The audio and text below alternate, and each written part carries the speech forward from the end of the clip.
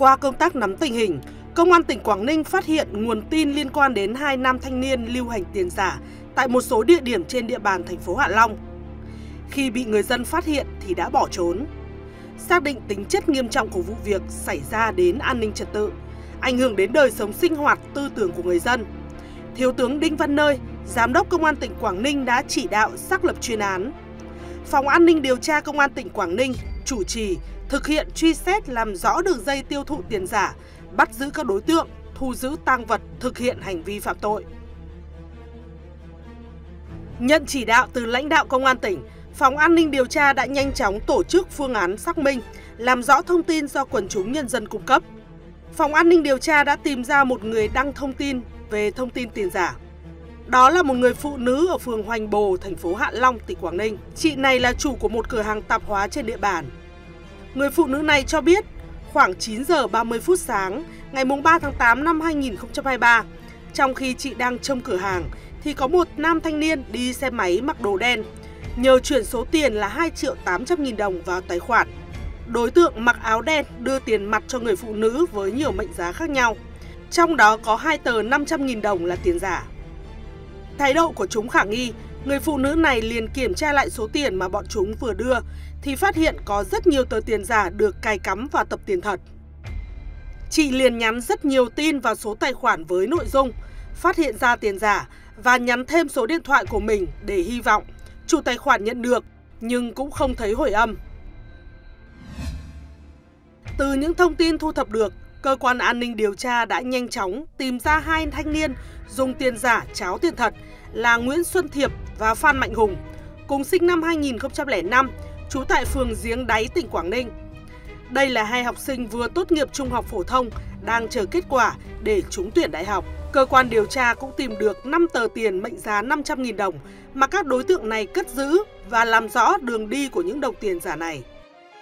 Qua đấu tranh khai thác, Thiệp và Hùng khai nhận đã thông qua mạng Facebook mua tiền giả mang về tiêu thụ tại một số địa điểm ở thành phố Hạ Long, Cẩm Phả.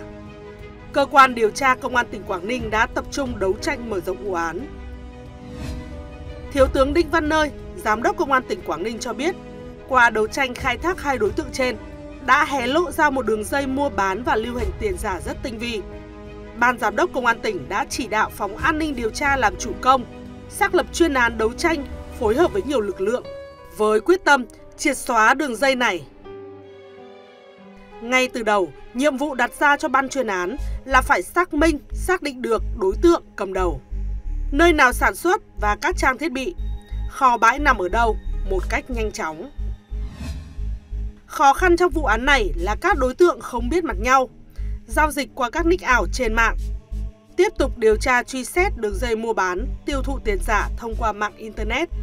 Cơ quan điều tra đã làm rõ một đối tượng ở nhiều tỉnh, thành phố khác nhau. Thuê địa điểm tại Hà Nội, dùng các thiết bị máy móc chuyên sản xuất làm tiền giả, làm giả các loại giấy tờ của cơ quan tổ chức. Sau đó, thông qua mạng xã hội, quảng cáo tìm người có nhu cầu để tiêu thụ. Bằng các biện pháp nghiệp vụ, chỉ trong vòng 15 ngày, ban chuyên án đã dựng lên được toàn bộ chân dung 9 đối tượng trong đường dây đến từ nhiều tỉnh thành khác nhau. Trong đó, ba đối tượng chủ mưu cầm đầu là Nguyễn Văn Đại, sinh năm 1994, Hồng Tuấn Thành, sinh năm 2003, cùng chú tại Ý Yên, tỉnh Nam Định. Lê Bá Toàn, sinh năm 1993, trú tại huyện Thọ Xuân, tỉnh Thanh Hóa. Đáng chú ý, để tránh sự phát hiện của cơ quan chức năng, từ khâu sản xuất đến khâu vận chuyển, tiêu thụ tiền giả, các đối tượng đều cắt khúc, mục đích là đề phòng nếu bị lực lượng công an phát hiện một khâu nào đó thì sẽ không có dấu vết. Trong suốt quá trình sản xuất, lưu hành tiền giả, đường dây này liên tục thay đổi chỗ ở. Các đối tượng sử dụng nick Facebook Zalo ảo, số điện thoại của người khác để nhằm che giấu hành vi phạm tội. Thượng tá Lê Mạnh Hùng, Phó trưởng phòng an ninh điều tra Công an tỉnh Quảng Ninh cho biết, thủ đoạn tinh vi xảo quyệt của nhóm đối tượng này còn thể hiện ở việc chúng lựa chọn địa điểm sản xuất tiền giả sát cạnh một con sông. Khi ban chuyên án bất ngờ ập vào kiểm tra, một số đối tượng đã nhanh tay vơ tài liệu và một số thiết bị máy móc ném qua cửa sổ xuống sông. Vì thế ban chuyên án đã phải trục vớt các tài liệu lên để phục vụ công tác đấu tranh. Lần theo các manh mối, ngày 28 tháng 8 năm 2023, Phòng An ninh điều tra Công an tỉnh Quảng Ninh đã phát hiện đối tượng Lê Bá Toàn, sinh năm 1993, địa chỉ tại phố Neo, Nam Giang, Thọ Xuân, tỉnh Thanh Hóa, có liên quan đến vụ án. Ngay khi biết Thiệp và Hùng bị bắt, Toàn đã trả nhà thuê về phòng hòng tránh nạn một thời gian, nhưng vẫn bị các trinh sát bắt giữ khi hắn đang dừng đỗ tại làn khẩn cấp trên đường cao tốc Hà Nội Thanh Hóa. Kiểm tra tại chỗ, tổ công tác phát hiện trên xe của Toàn có một số lượng lớn tiền giả. Tuy nhiên, với bản chất lì lợm, thủ đoạn tinh vi, Toàn khai là shipper đi ship hàng, chỉ vận chuyển thuê tiền giả để kiếm lời, chứ không biết gì về đường dây nêu trên. Bằng kinh nghiệm nhiều năm làm án, các điều tra viên đã thu thập chứng cứ kết hợp với đấu trí. Cuối cùng Toàn đã khai nhận là kẻ chủ mưu cầm đầu trong việc tiêu thụ tiền và các loại giấy tờ giả. Tại cơ quan công an, đối tượng Lê Bá Toàn khai nhận từng có một tiền án về tội làm giả tài liệu của cơ quan tổ chức. Đối tượng biết Đại và Thành cũng đang sản xuất giấy tờ giả nên đến gặp trao đổi cách làm tiền giả để tiêu thụ. Toàn chính là người hướng dẫn cho Đại và Thành cách làm tiền giả, sao cho giống y tiền thật. Việc tiêu thụ tiền giả do Toàn phụ trách. Tính đến thời điểm bị bắt, Toàn đã tiêu thụ tổng cộng 160 triệu tiền giả, mệnh giá 500.000 đồng, do Đại và Thành sản xuất. Ngay sau đó, cơ quan an ninh điều tra đã làm rõ kẻ cầm đầu nhóm đối tượng sản xuất giấy tờ tiền giả là Nguyễn Văn Đại, sinh năm 1994, địa chỉ tại Yên Nghĩa, Ý Yên, tỉnh Nam Định. Hồng Tuấn Thành, sinh năm 2003, ở Ý Yên, tỉnh Nam Định. Đại thuê nhà tại Ngọc Hồi, Thanh Trì, Hà Nội. Nhưng đêm ngày 31 tháng 8, một mũi trinh sát đến nơi thì Đại và Thành đã trả nhà thuê, mang theo các máy móc, thiết bị làm tiền giả để tẩu thoát.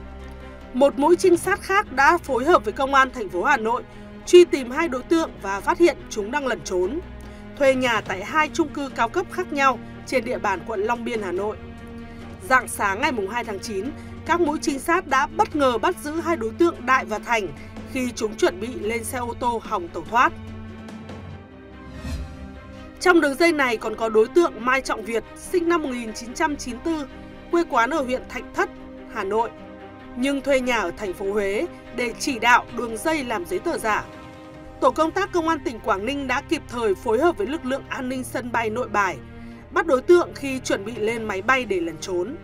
Đồng thời phối hợp với công an tỉnh Thừa Thiên Huế khám xét nơi ở của đối tượng tại thành phố Huế, thu giữ một số chứng cứ quan trọng. Thiếu tướng Đinh Văn Nơi cho biết, bước đầu các đối tượng khai nhận vừa mới hoạt động trên địa bàn tỉnh Quảng Ninh thì bị phát hiện, bắt giữ. Khi bị bắt, các đối tượng đang chuẩn bị in hàng tỷ đồng tiền giả để giao dịch mua bán, vận chuyển ra nhiều địa bàn trên toàn quốc để tiêu thụ.